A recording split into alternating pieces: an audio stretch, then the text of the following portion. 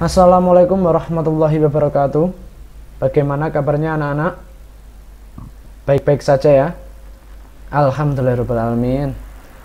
Semoga kita selalu dalam lindungan Allah Subhanahu wa taala.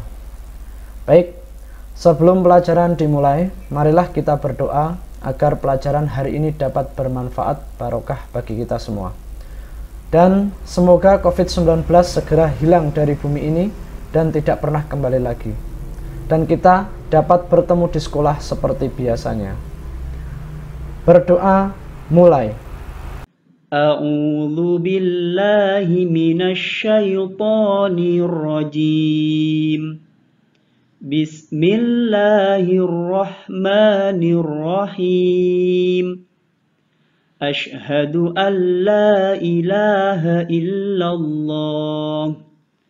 وأشهد أن محمدا عبده ورسوله.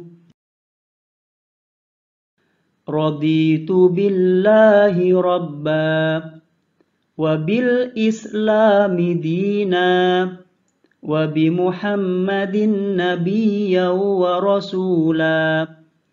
رب زدني علما وارزقني فهما. Birahmatika ya arhamar rahimin. Berdoa selesai. Baik anak-anak, pada pertemuan kemarin saya sudah memberikan video pembelajaran tentang motif atau corak batik. Hari ini adalah pertemuan kita yang ketujuh. Pada pertemuan kali ini kita masih mempelajari pada bab kedua, yaitu tentang ragam hias dengan materi utama tenun. Sebelum pelajaran dimulai, kalian siapkan buku tulis dan ballpoint untuk mencatat materi yang akan kita pelajari hari ini. Karena nanti catatan kalian akan dimasukkan ke buku nilai. Untuk materi tenun, kalian bisa perhatikan video pembelajaran berikut ini. Pertama-tama, di sini ada tenun. Tenun merupakan teknik dalam pembuatan kain yang dibuat dengan prinsip yang sederhana, yaitu dengan menggabungkan benang secara memanjang dan melintang. Dengan kata lain, persilangannya antara benang lungsin atau lusi dan benang pakan secara bergantian. Jadi tenun itu persilangan antara benang lungsin dan benang pakan. Jadi ada benang horizontal dan benang vertikal. Untuk detailnya, di sini ada benang lungsin atau lusi dan benang pakan. Nah, saya jelaskan satu-satu. Untuk benang lungsin atau lusi, ya orang-orang biasanya menyebutnya lusi ya, adalah benang tenun yang disusun sejajar, biasanya memanjang dan tidak bergerak atau diam, terikat di kedua ujungnya. Jadi benang lungsin atau lusi itu benang yang diam. Terus selanjutnya ada benang pakan. Nah, untuk benang pakan ini Benang yang dimasukkan melintang pada benang lungsin ketika menenun kain.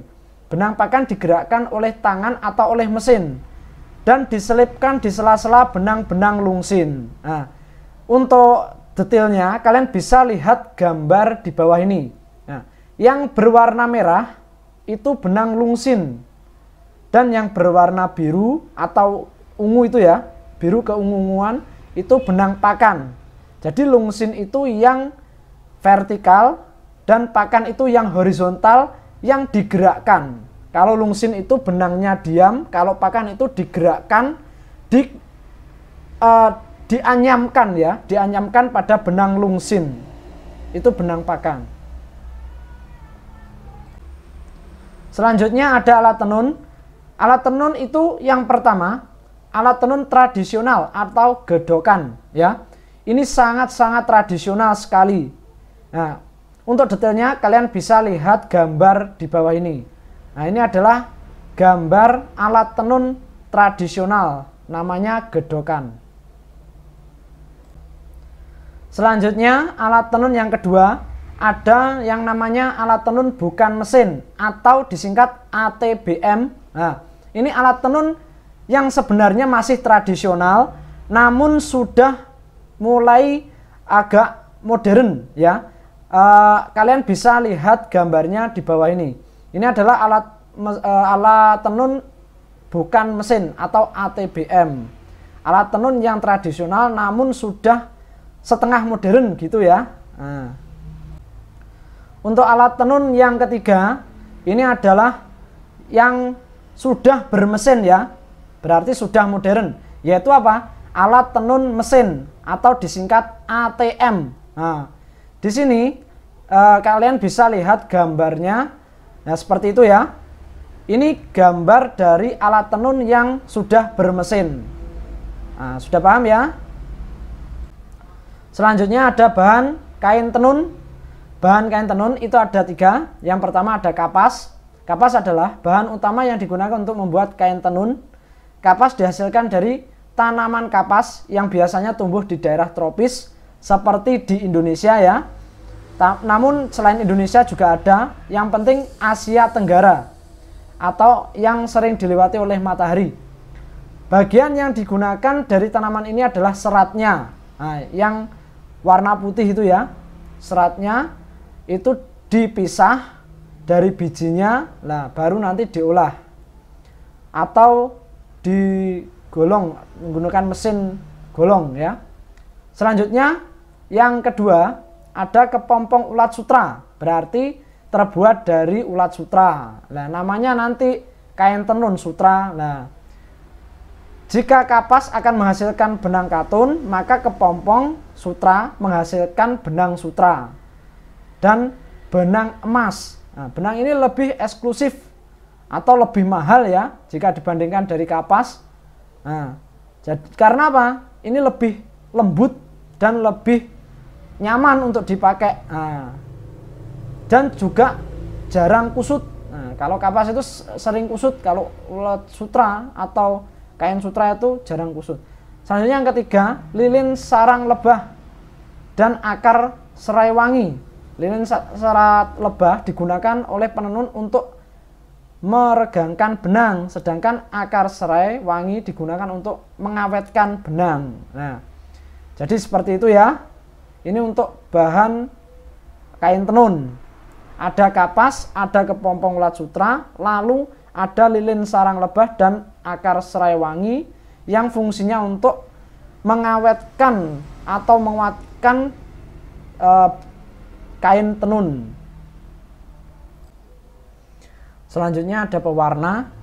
Untuk pewarna itu ada alami dan buatan. Untuk pewarna alami itu kalian bisa lihat ini ya. Merah itu dihasilkan dari mengkudu, kulit pohon jati, buah manggis. Lalu warna hijau dihasilkan dari daun pandan, pandan suji ya. Selanjutnya ada dari daun mangga, daun rumput putri malu. Selanjutnya warna kuning dihasilkan dari kunyit atau kunir ya. Nah, selanjutnya dari bunga matahari, dari nangka juga bisa. Namun ini seingat saya pohonnya ya, pohon nangka. Selanjutnya untuk warna hitam itu dari tumbuhan tarum, jambu mete dan buah pinang. Selanjutnya untuk warna biru didapat dari tanaman bunga talang dan daun nila. Untuk pewarna buatan itu dari naptol, remasol, dan indigosol.